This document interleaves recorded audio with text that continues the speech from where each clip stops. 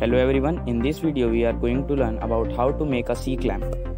This video is a brief introduction of C-clamp.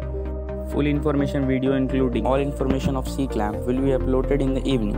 Stay tuned for further information and please don't forget to subscribe our channel ER Vineet